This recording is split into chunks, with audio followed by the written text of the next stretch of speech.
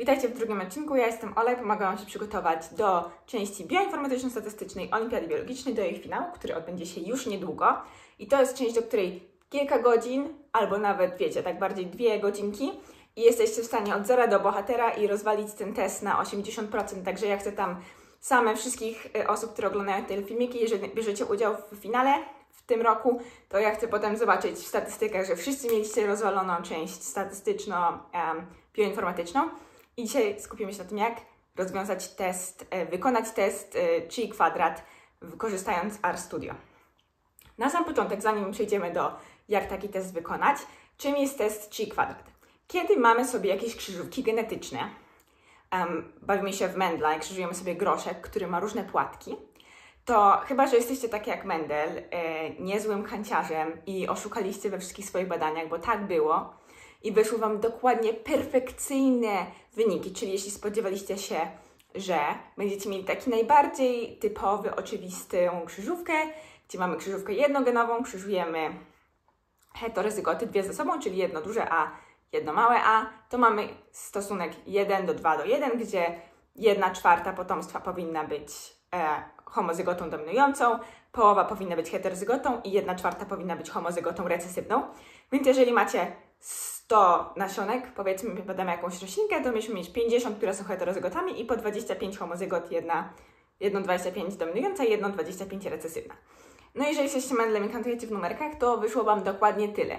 Ale jeśli naprawdę biologicznie w świecie, gdzie jest dużo losowości, robimy to doświadczenie, to pewnie wyszły nam trochę różne e, te wyniki i w takim teście Ci kwadrat chcemy sprawdzić, czy te różnice między tym, co z czego się spodziewaliśmy, czyli tą wartością oczekiwaną, a wartością eksperymentalną się czymś, um, się czymś różnią i czy ta różnica jest statystycznie istotna. Nauczymy się tego testu Chi kwadrat w RStudio na przykładzie zadania z ubiegłorocznej olimpiady z 2022 roku, gdzie mieliśmy do czynienia z krzyżowaniem um, zwierzątek o różnym kolorze sierści i chcieliśmy sprawdzić, czy te wyniki, które w tej krzyżówce otrzymaliśmy, popierają naszą hipotezę dotyczącą tego, jak to dziedziczenie e, tych cech przebiega.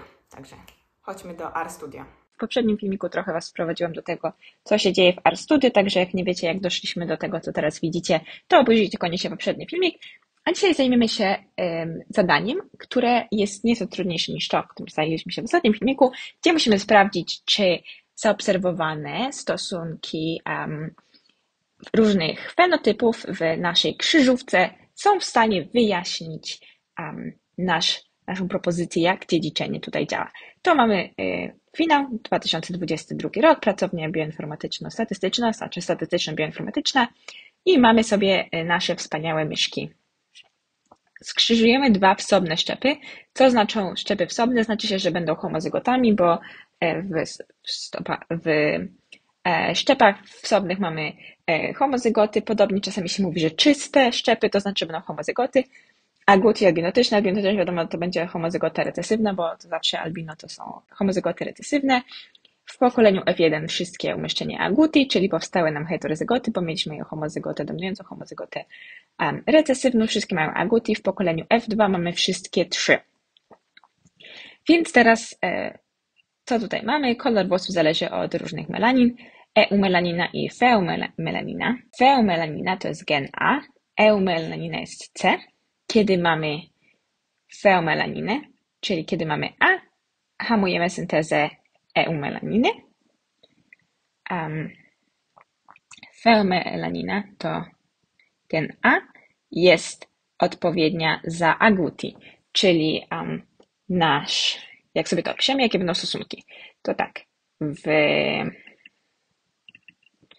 F0 mieliśmy, skrzyżowaliśmy AA z CC duże i z homozygotą e, recesywną.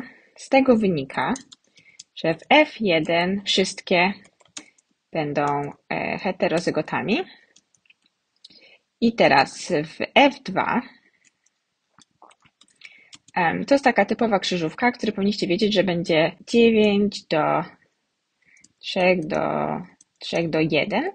Gdybyśmy mieli cechy, które, w których nie ma tej zachodzącej epistazy, nic takiego, tak byśmy się spodziewali, że te fenotypy będą 9 będzie takich, że będą dominu, dominujące, czyli będzie przynajmniej jedno duże A, jedno duże C. W 3 będzie małe A, duże C, bądź duże A, małe C.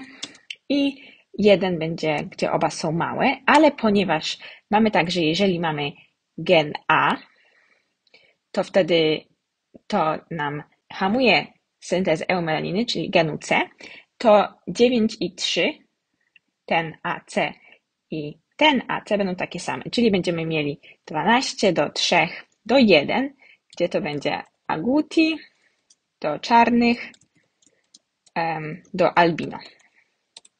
Czyli to jest poprawność 12 do 3 do 1, a genotypy będą miały inne, ale to nam się tutaj równoważy. Dobra, i tutaj będziemy korzystali z testu 3 kwadrat w tej sytuacji. E, to jest nieprawdziwe. Dobra, no więc wchodzimy sobie do tego, do tego R i e, będziemy to analizować.